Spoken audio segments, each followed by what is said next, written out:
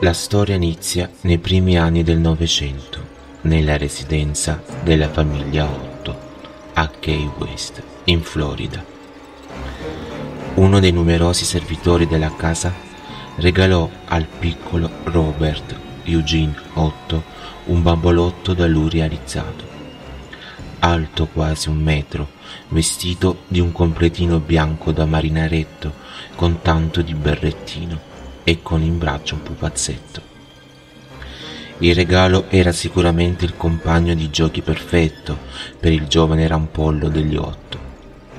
Fu il bambino stesso a decidere di dare alla bambola il suo stesso nome e Robert divenne da subito una presenza costante nelle sue giornate. Eugene passava buona parte del suo tempo in compagnia di Robert, giocando e chiacchierando col suo nuovo amico. Spesso Eugene sfruttava Robert come copertura per le sue marachelle. Quando un soprammobile di cristallo cadeva a terra, una finestra veniva lasciata aperta, un biscotto rubato.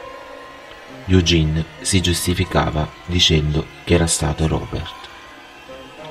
A volte i genitori lo sentivano parlare per ore da solo e rispondersi con una voce completamente diversa dalla sua ma nell'immaginazione di un bambino anche quello poteva essere un gioco. La presenza di Robert si fece però gradualmente più opprimente, forse reso inquieto dallo sguardo fisso, eppure così profondo della bambola. Eugene iniziò ad avere incubi frequenti si svegliava gridando in preda al terrore e quando i genitori accorrevano nella sua camera per tranquillizzarlo, trovavano spesso mobili spostati e oggetti a terra. La spiegazione di Eugene era sempre è stato Robert. La stessa che aveva ripetuto ogni volta che qualcosa di strano avveniva in casa.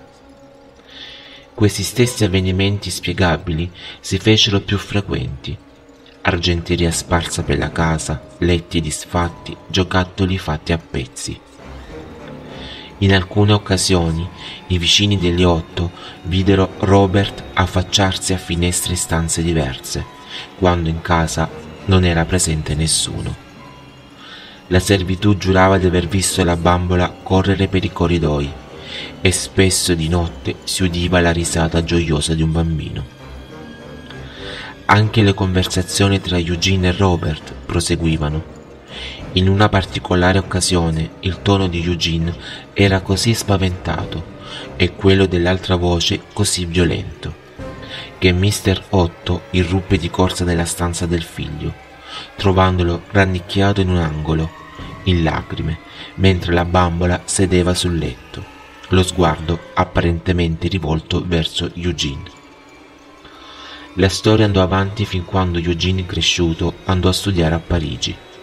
Qui conobbe Anne, sua futura moglie, con la quale tempo dopo, in seguito alla morte del padre, si trasferì nella vecchia casa di Key West. Robert era rimasto in soffitta per tutti quegli anni e durante i lavori di ristrutturazione della villa Eugene fece costruire una stanza in scala appositivamente per lui, con mobili di dimensioni ridotte e soffitto ribassato. Il nuovo padrone di casa Otto insisteva perché Robert fosse trattato come una persona, facendolo addirittura sedere a tavola durante i pasti. Non trascorse troppo tempo prima che Anne ne avesse abbastanza di quel vecchio pezzo di stoffa e in assenza del marito lo chiuse di nuovo in soffitta. Quando Eugene scoprì quello che era successo, si mostrò furioso e spaventato allo stesso tempo e si affrettò a riportare Robert nella sua stanza, continuando ad accusare la moglie. Il rapporto tra i due si sfaldava, con Anne che cominciava a dubitare della sanità mentale del marito ed Eugene che si dimostrava sempre più scostante e violento nei suoi confronti. Con la morte di Eugene nel 1972, Anne abbandonò in fretta Key West, andando a vivere a Boston e lasciando la casa 8, ormai conosciuta come The Artist House, in affitto. Una particolare clausola del contratto da lei voluta stabiliva però che Robert doveva essere l'unico occupante della stanza in cui si trovava, e così il bambolotto rimase solo per alcuni anni. Quando anche Anne morì quattro anni dopo suo marito, la clausola divenne nulla e la stanza di Robert fu aperta per alcuni lavori. Gli operai incaricati riferivano che la bambola sembrava spostarsi ogni volta che giravano lo sguardo. E più di una volta sentirono una risata risuonare nelle stanze. Per poter affittare anche quella stanza, Robert fu di nuovo trasferito in soffitta.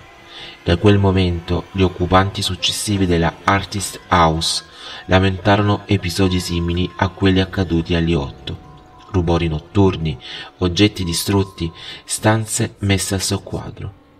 Una bambina, che aveva trovato Robert in soffitta e aveva iniziato a giocare con lui, iniziò ad avere incubi e raccontò che la bambola l'aveva attaccata.